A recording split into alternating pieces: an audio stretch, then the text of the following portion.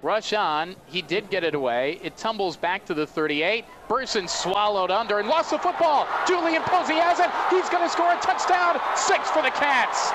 Last year they had a million of those. That's the first this year. Ohio six, Wofford nothing, and Posey picked and strolled it in for six.